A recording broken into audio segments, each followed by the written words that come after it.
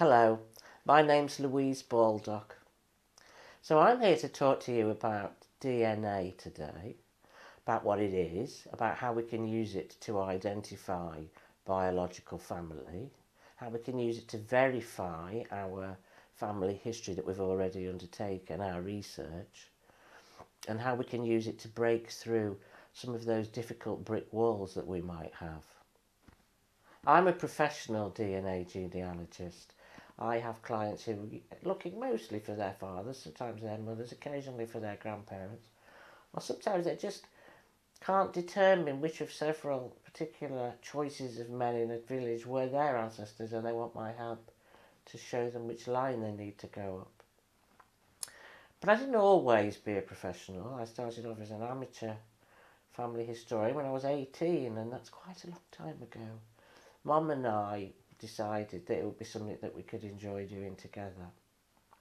Over the decades, Mum and I pretty much exhausted our family tree. We'd been down every line and every branch that we could. We'd gone back as far as we could. We'd gone sideways as far as we could. We'd found those ancestors whose brothers and sisters emigrated to America or who got involved in the Corn Law riots. We'd really exhausted our own family history, and so we started to work on the family histories of our friends and colleagues and neighbours and in-laws and the friends and colleagues and neighbours of our in-laws. And really, we were running out of interesting material. And that's where DNA really came in for me. So when I was 50, I thought I'll have a DNA test, and that'd be really interesting. So I took a DNA test. I'll just tell you a little bit about that. So you order it online, and a little box comes a couple of weeks later in the post. It's a little bit like doing a lateral flow test, to be honest. Only you spit in the tube rather than poke anything up your nose. But fairly similar in as much as there's little bits of plastic and tubes and bits to tear off.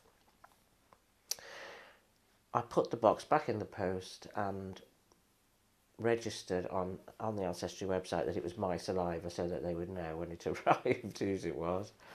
And then I waited and eventually I got an email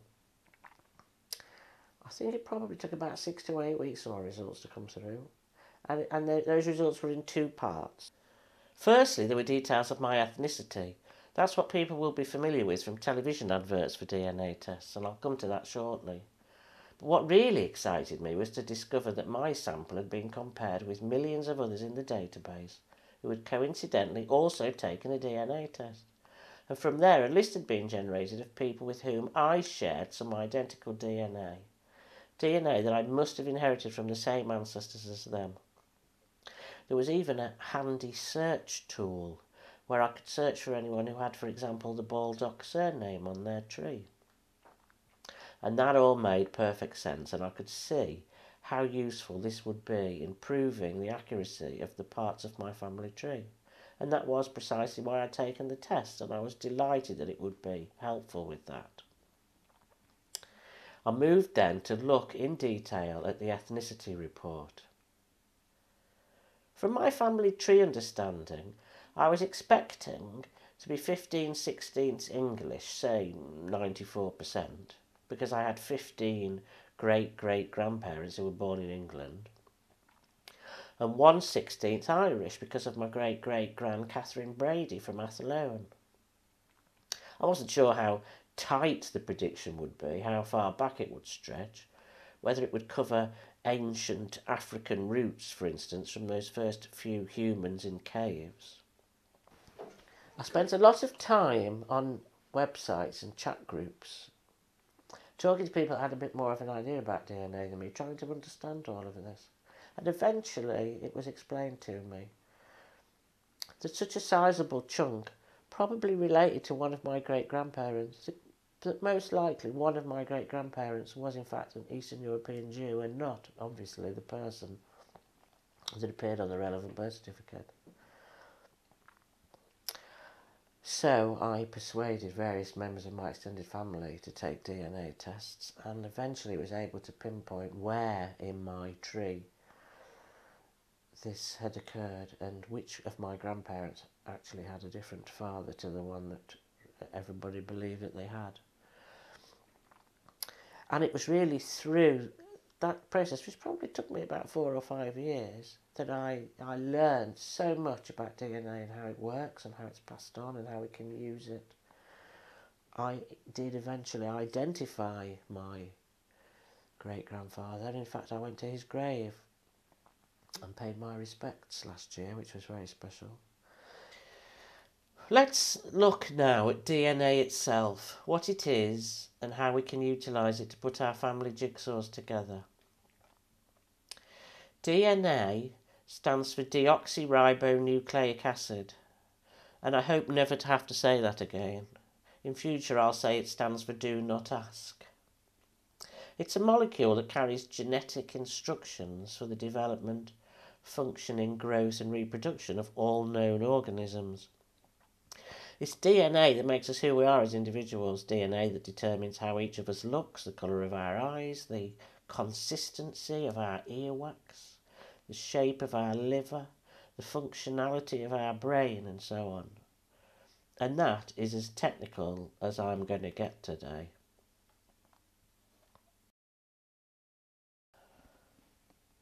Our interest in DNA from a genealogical point of view lies firstly in the fact that it was passed to us by specific and identifiable ancestors, and secondly, that it's possible through DNA profiling to compare the DNA from one individual with another and to identify where there is a family relationship.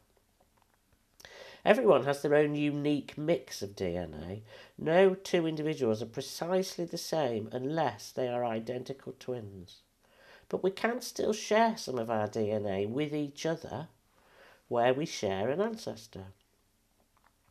There are different types of DNA tests which examine different things. I'm going to concentrate today on autosomal DNA, which is the main type that is tested by the various different companies. That's what you will be buying on their websites. That's what we use for our purposes. It's the DNA that is passed from ancestors of both sexes to descendants of both sexes. For your interest, the other two types of DNA are Y DNA, which is passed on virtually unchanged from fathers to sons, and mitochondrial DNA, which is passed on only by a mother to her children. I shall only be addressing myself to autosomal DNA today. Imagine Tom's DNA is a bowl of Smarties.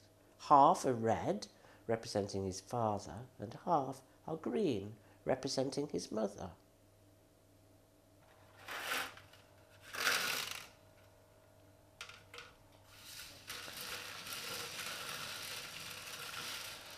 At their conception, Tom's children, Joseph and Lucy, receive about half of these Smarties. Well, they don't receive about half, they receive exactly half of these Smarties from him.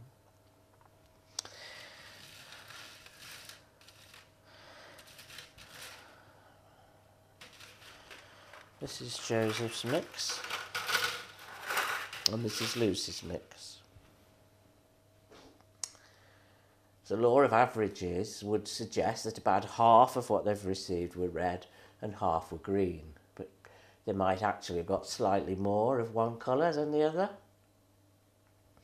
And they will have picked up some identical Smarties, but also some different ones.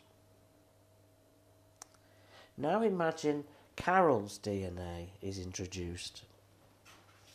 Carol's DNA is blue and yellow to represent her mother and father.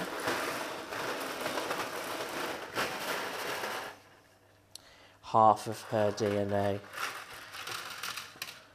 to one child and half to the other. It's not quite an accurate picture. You understand this is a little bit difficult to achieve in the kitchen with bowls of Smarties.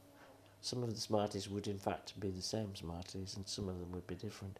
But you can begin to see that the mix in each bowl is different. As each generation passes, new Smarties will be introduced and a random half of the bowl will be passed on. Lucy meets Jordan and they have a child together. So half of Jordan's DNA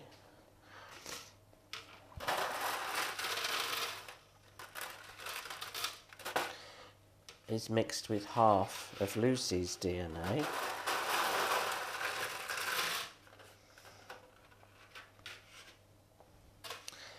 In this next generation. And then this child meets a partner.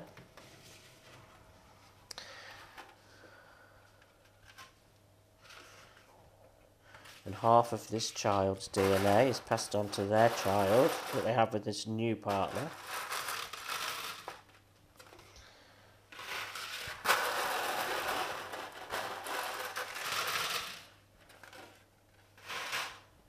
And so this exercise is repeated through the generations. Eventually, in generations to come, there'll be none of Tom and Carol's Smarties left. They'll be reduced by 50% approximately in every generation.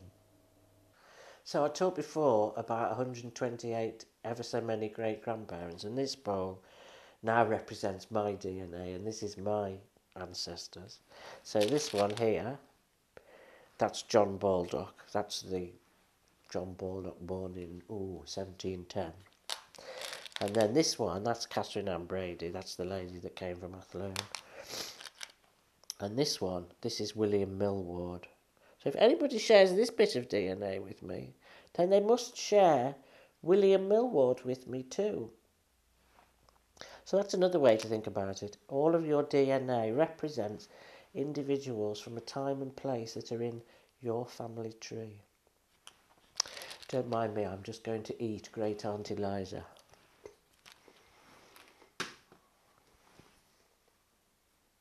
We'll have a quick look now at how DNA is calculated and then reported in test results. Whichever company you take your DNA test with, the results will always include a list of relatives with whom you share some identical DNA and they'll be listed in order of how close a family member they are to you. Parents and children are always at the top of the list if they've tested because you share half of your DNA with your parent and half of your DNA with your child. There is no closer relative. These will be followed by close family and then extended family and then finally distant family, a whole bunch of cousins. In terms of ancestry, which has the largest database of testers in the world, the average British tester probably has around 250 fourth cousins or closer on their list, and the average American will have a few thousand on theirs. And those 250 cousins could live anywhere in the world that allows testing. You may find that quite a few of your DNA cousins are American, simply because of the fashion of testing there, and that they're descended from the brothers and sisters of your great great grandparents, for instance, who emigrated. The results will also detail precisely how many Smarties you share with each of these people. and of course, DNA isn't really measured in Smarties. It's measured in centimorgans, or CMs for short, and that's little c, capital M, as opposed to centimetres, which is little c, little m. Here's a look again at my list on Ancestry. You'll see in this example that I share 2,374 centimorgans with my sister Maxine. If I click on that link, it will show the likely nature of that relationship. It says 100% sibling. In this instance, I know who she is, but I might not have done. I have worked on some cases of babies who were left as foundlings and have no idea who any of the people are on their list you'll see that I share slightly more DNA with my maternal uncle than I do with my paternal aunt. That's down to the random distribution of DNA that we've already looked at. They are both my full relatives as it happens. So moving from there to using DNA to prove your family tree then, you can already see the DNA is a great tool. I can see straight away that my father is my father, and because my maternal uncle is on my list, that means my mother is also my mother. I can also see as I work down my list of and look at the different family trees of these DNA cousins, I can see that my father's parents were both his biologically and likewise with my maternal grandparents. I can see this because I can find people on my list that share ancestors with me on those branches. In fact, there's a common ancestors feature on Ancestry that allows me to see precisely which ancestors I share with another tester. I can then put a, a tick by everyone on my tree that lies between the tester and me, knowing that they are genetically related to me. This person is related to me on my mother's side, and I know that because that she doesn't share any ancestry, uh, any DNA with my father, and he's on the system. I speculated initially that we must be related on her father's side, as he was a Fenn with roots in Wolverhampton, a family that appears in my own tree. Although she hasn't done this on her own tree, using my genealogical skills, I was able to praise her father's family and into my family tree, and this enabled me to prove six generations of my family tree. Using this lovely tool all the way back to Thomas Fenn in 1779. So I was then able to confirm that Christabel is my grandmother, that Teresa is my great grandmother, and so on until we get to Thomas by finding that link between me and LCCO88. I'm going to talk now about clustering and most recent common ancestors or MRCAs. You can start with the people on the list that you do know and you can recognise as belonging to a branch of your family and you look at their shared matches and you mark all of them with the same coloured spot and give them the name of that branch of your tree. So you can bring together everyone on the Joneses side, which is your mum's father. You can see their Joneses because you found someone who has the right Jones people on their family tree. And you might give them all a yellow spot and call that Jones. And another cluster seems to belong to the Robinson family, which are your mum's mother's people, and you know that because it turns out that your second cousin Katie has also taken the test, although you haven't spoken to her for years, but there she is on your list with a, a nice photo. So you give her and everyone that you share with her a contrasting coloured spot, pink perhaps, and call that cluster Robinson. This should have taken care of a decent chunk of your DNA matches, and hopefully what you now have left are some relatively close cousins sharing at least 50 centimorgans ideally, with some family trees that you're able to view, but people that you don't currently recognise. Starting with the highest and therefore the closest unknown DNA match, you would cluster them together with the shared relatives that you and they share. Give that cluster a third colour and a name that you'll just use for now. I tend to call it by the name of that tester, so that becomes the Fred Bloggs cluster for now. And I do that with the next few highest unclustered matches too, so that I have perhaps three more groups of cousins who as yet I don't know how they're related to each other or to me or my tester. Our challenge as DNA genealogists is to work that out. The breakthrough in identifying your unknown biological family, whether that's your father, grandparent, or a great grandparent, probably not any further back than that, to be honest. The breakthrough will come from establishing how everyone in the Fred Bloggs group is related to each other. And the only way we can do that is by looking at any available family trees, looking at their surnames and geography until we spot the common connections.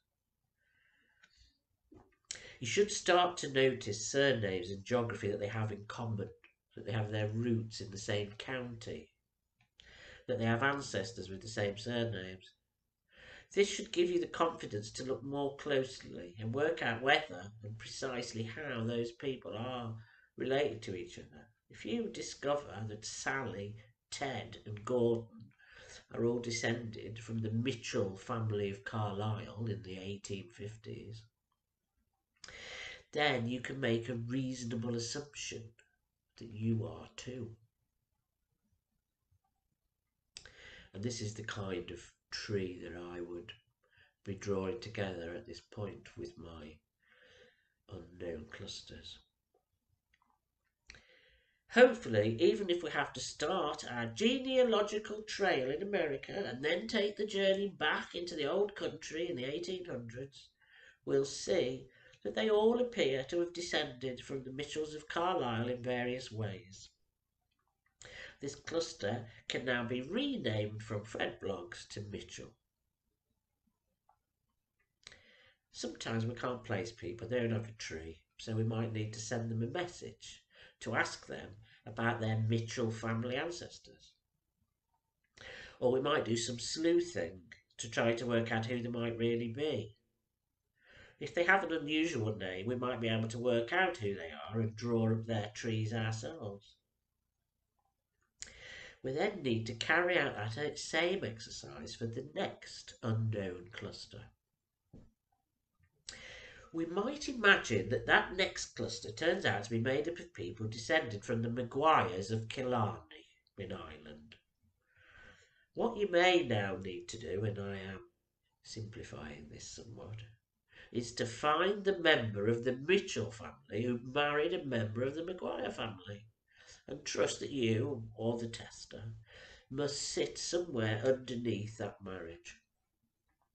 So I'm going to summarise this section by saying that you need to group together those of your cousins who you do not recognise and then work for as long as it takes to understand how they are related to each other and thus, at least broadly, to you.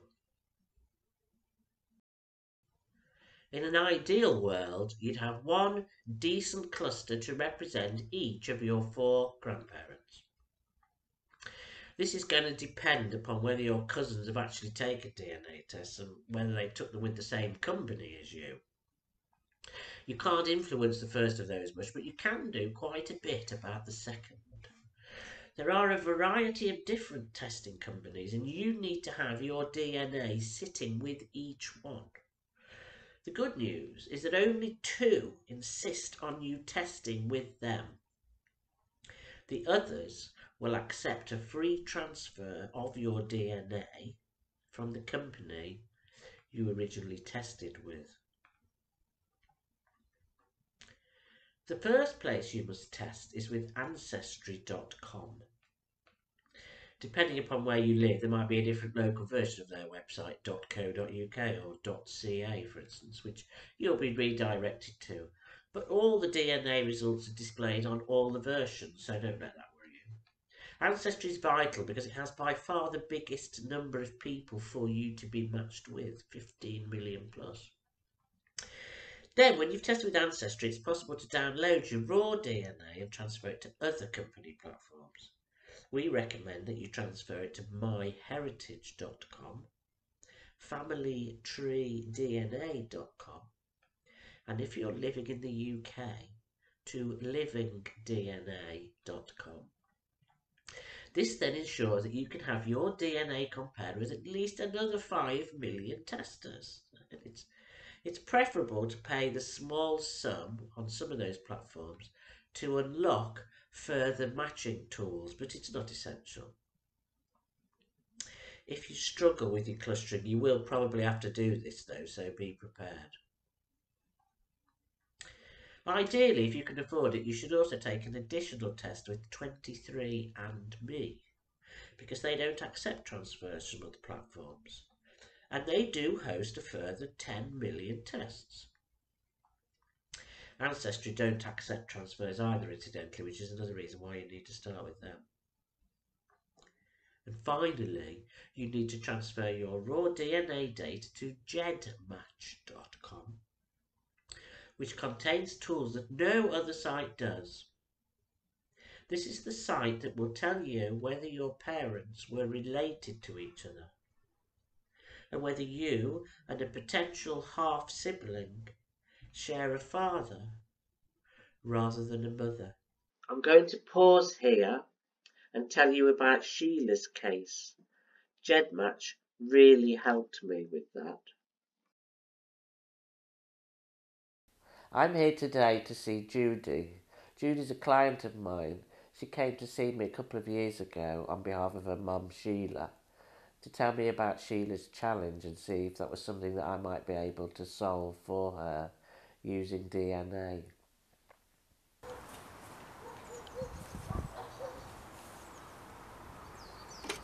Hello, hello Judie, how are you? Are you well?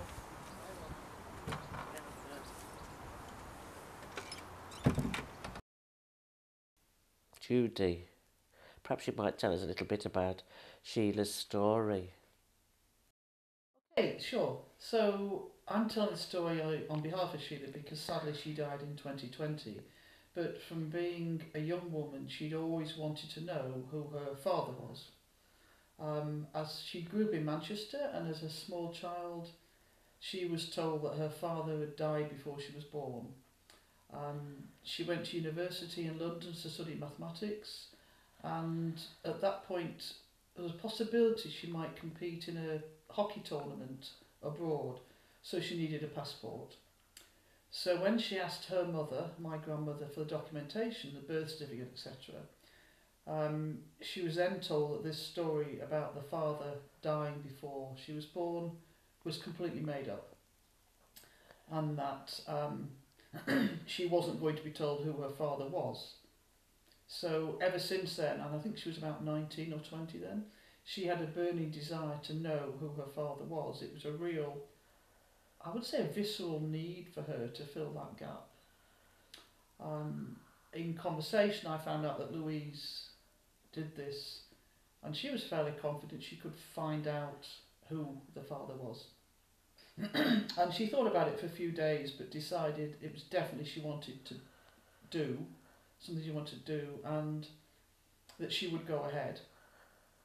So we purchased a DNA kit, and she provided a saliva sample, posted it off, and in due course, of course, the results came back, um, which I then handed over to Louise, and she did various techniques on them, and basically came back saying it was one of three brothers. Now, to tell a little bit more about my mother's history, uh, she was an only child, and her mother had a sister who was married to a very wealthy man with a business in the Philippines. So this sister and her family, um, originally four boys, of whom one died young, but the three remaining sons lived in the Philippines. Of course, for well-off English boys of that era, it was out of the question to be educated abroad. So when they were eight, they were all brought across to England and enrolled in a, a minor public school somewhere in Nottinghamshire. So basically, my granny and her brother and sister and these three first cousins grew up together. The four boys all went to school together. The two girls went to a local day school. Um, and they must have just been really grown up like siblings. So when Louise told me the name, I remember the surname um, because of, I knew the eldest of these three brothers until he died in his 70s. I remember him when I was a little girl coming round and visiting us. He lived in South Africa at the time. I was absolutely amazed to learn that one of these three sons was the father of my mother. So uh, basically, it was a relationship had happened between these two first cousins. Realistically, the DNA doesn't say which brother it is but um, the youngest would only have been 14, so we've ruled him out. Of the other two, one, the eldest, was repeatedly generous to her wedding gifts, left money in a will, all sorts of things like that, and kept in touch with her and in fact with myself and my sisters the rest of his life. So we know that Edward was the father, although the, the DNA hasn't proven that. I think, well, I know she, she she came to think that um, it was a good thing that her father was actually a man she'd known until he died. And in fact, he loved her. And I, I can remember him when we were running around the garden as little girls, watching us. and he obviously loved us, and it must have been quite hard for him not to be able to acknowledge these three granddaughters as his. Um, but she was immensely relieved and happy to find out because she felt this hole she'd felt all her life had been filled in. What was interesting from my point of view in, in undertaking the task was that when I started to look at Sheila's DNA results, I had a lot of genetic matches to her maternal family. And then where I should have had paternal family, there was a bit of a, I mean, there was some material there, but not much. And I thought, this is a bit peculiar, really. Sheila was um, more or less entirely British in her ethnicity, so you would normally expect to see quite a lot of paternal genetic fa- ancestral family, and I just there wasn't anything there, and it was almost a almost an instinct that made me use the GEDmatch tool, which is called "Are Your Parents Related?"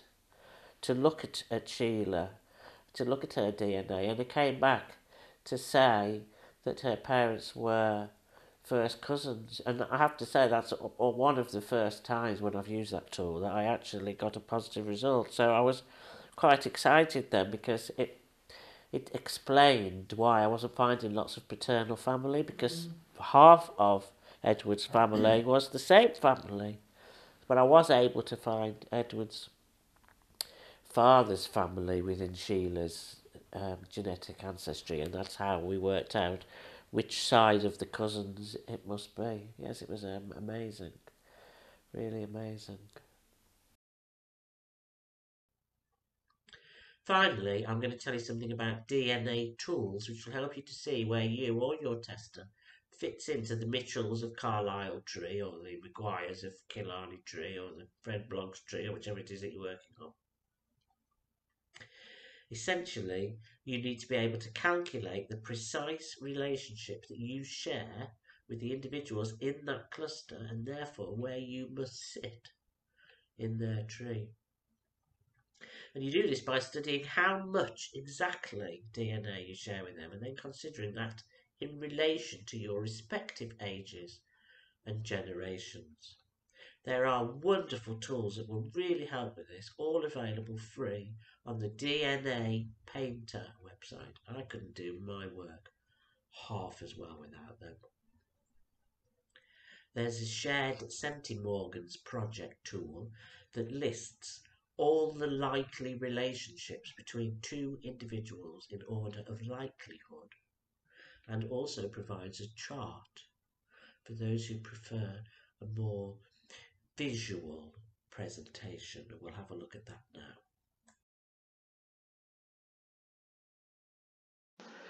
This is the wonderful DNA Painter resource, and particularly here we have the shared Centimorgan project, which is currently on version 4 because they're working on it all the time and making it better and better and better.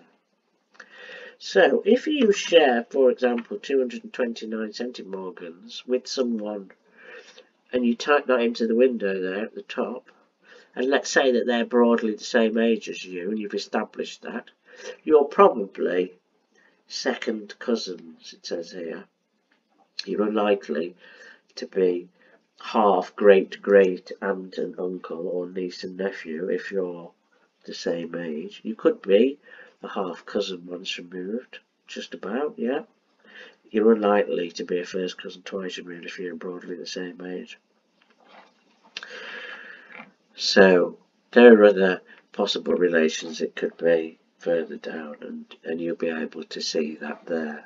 So that is a really useful tool when you're trying to establish. If I share 2,374 centimorgans like I share with my sister, it says that she's 94% likely to be my sibling, 6% my niece or nephew. And there is in fact a chart for those that prefer to look at things visually that highlights those boxes that, that somebody sharing that DNA is most likely to be in relation to you. This is the other really great tool the DNA Painter offers. It's called What Are the Odds? And it enables you to put in the details of the DNA matches that you've plotted into a family tree, and then it'll tell you where your person, the person that tests against these individuals, where they probably would fit. So you've seen earlier the fictitious family tree that I drew for Sally, Ted and Gordon, the Mitchells of Carlisle. This is how they fit into that family tree. And this is the amount of centimorgans that they each shared with Janice. So you can see at the top of the screen here that this has been prepared for Janice, who was born in 1932.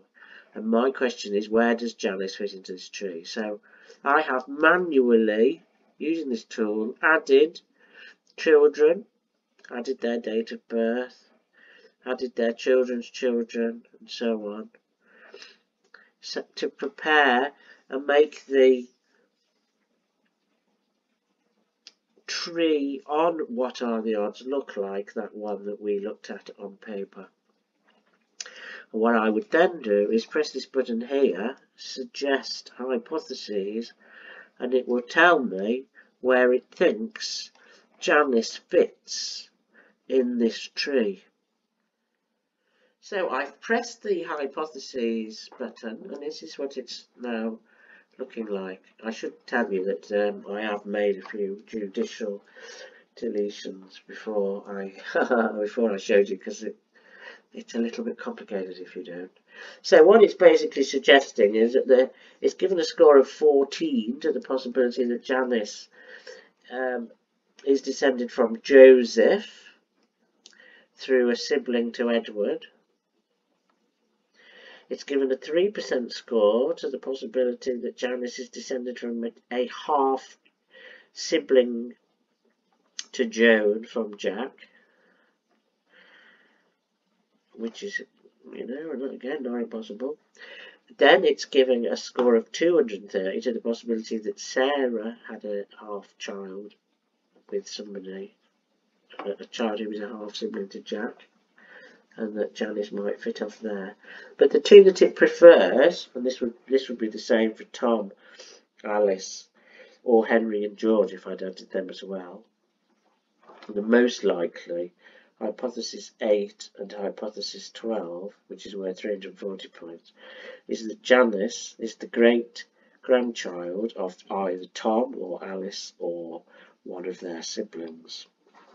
And if we go a little bit further down, we can see it tells us that in case we couldn't work it out, that 8 and 12 are the most highest ranked, 8 and 12.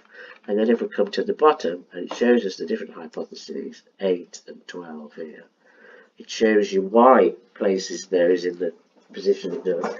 Because in hypothesis 8, Ted, there's a 50% chance that he would be a second cousin once removed because of the amount of DNA that he shares. Sally at 46% chance that she fits in there.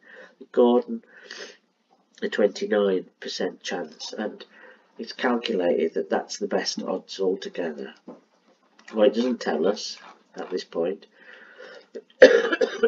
is which of Tom or Alice or Henry or George you aren't shown, which is the next generation that we need to concentrate on. But it does give us an indication where now we need to start in our tree with these individuals here, Tom and Alice, to find out who their partners were and what children they had and see if we can get any closer to finding some more genetic matches. You'll remember that we were hoping to find the marriage of a, a Maguire with a Mitchell. So if Tom or Alice had to have married a Maguire, we'd be very happy that we would then know which was our next generation that we wanted to work on in our family tree. I don't expect you to remember all this. I'm just showing you that it's a fabulous tool that really helps you to place individuals when you don't really know where you fit into their family. So that's on the DNA Painter resource.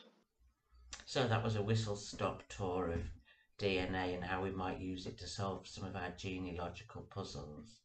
There are some blogs and some case studies on my website that you might also find useful. That's www.findingfamilies.co.uk and I'd be happy to uh, offer you any advice as you go through your own DNA journey. Thanks very much.